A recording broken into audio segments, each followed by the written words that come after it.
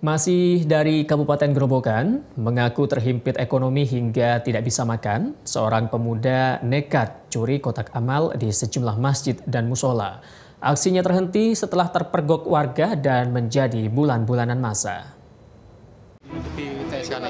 Bukan menambah isi kotak amal, Heri Sugiarto malah membawa kabur kotak amal. Parahnya, ia mencuri kotak amal dari sejumlah masjid dan musola di Kabupaten Gerobokan. Kurang lebih sudah empat masjid dan musola telah disatroninya. Aksinya terhenti saat ia beraksi di Masjid Desa Sukorejo. Di hadapan petugas, dirinya mengaku terpaksa mencuri kotak amal lantaran sudah beberapa hari tidak makan.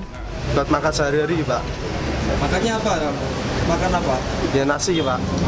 Ya enggak, Pak. Karena ekonomi, Pak. Karena ekonomi nggak bisa makan ini loh, Pak. Nah, kayak mikirnya kok yang ngambilnya di Masjid. ya, kotak amal di masjid, kok nggak di tempat lain maksudnya. Kan kotaknya di depan masjid itu loh, Pak. Nggak di dalam itu loh.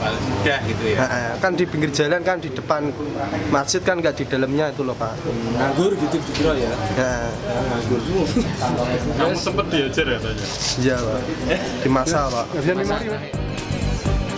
Polisi mengamankan satu buah tang yang dibawa pelaku, sejumlah uang dan kotak amal masjid yang kondisinya sudah rusak.